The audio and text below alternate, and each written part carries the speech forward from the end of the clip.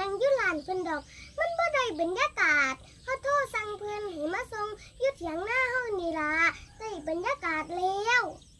กะสั่นกะฟ้าโทรสั่งเพิ่นเลย เขาหิวคักแล้ว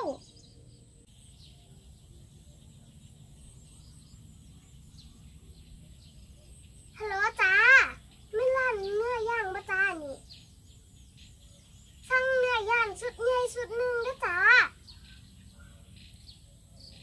เอามาส่งอยู่บ้านหินขาวจ้า แม่นจ้าแม่นกอุ้มอิ่มนี่ละจ้า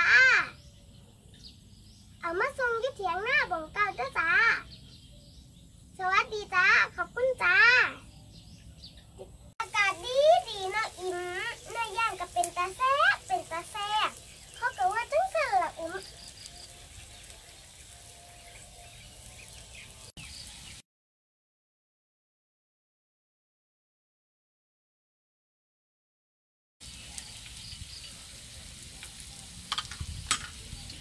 ยิ้มสิไปไซเขาสิแลนลงทง เอาเป็นหยังคือแลนลงทงน้ำจิ้มนี่มันบ่แสบป่านว่าแลนลงทงใดเขาลองซิมเบังดู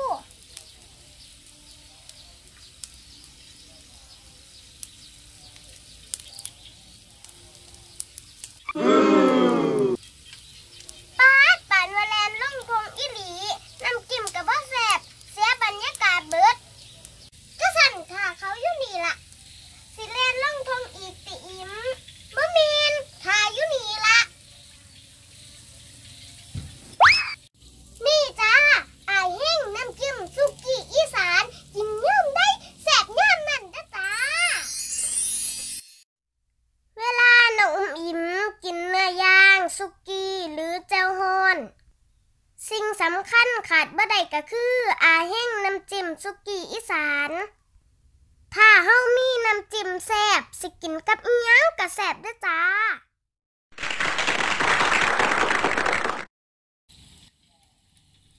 สำหรับผู้ใดมากินเนื้อย่างซุกี้หรือเจ้าโฮนขั้นอยากได้น้ำจิ้มแซ่บๆ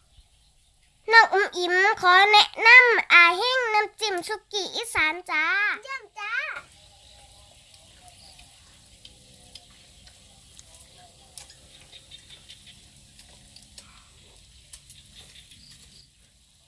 ผู้ใด สนใจสั่งซื้อออนไลน์ได้ที่เพจอาเฮงน้ำจิ้มสุกี้อีสานได้จ้า บรรยากาศมาเลยนะจ้า